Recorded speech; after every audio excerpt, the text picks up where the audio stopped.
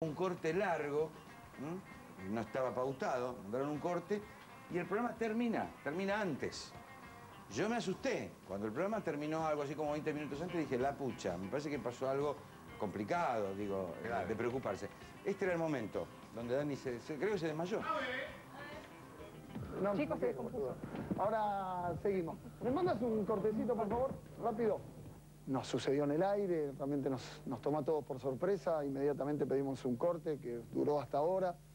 Eh, está bien, quiero decirles que ya está bien, ya está, vinieron los médicos, ya lo revisaron. Esto tiene que ver con el estrés, tiene que ver con eh, uno no se alimenta bien, eh, pero, pero ya está bien, la familia ya sabe que está bien.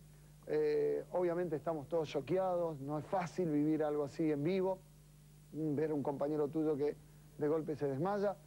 Por suerte ya está siendo trasladado un sanatorio acá cerquita, está siendo acompañado por Marcela Tauro, estamos todos ya listos para ir con él también. Bueno, nos sorprendimos todos, nos asustamos.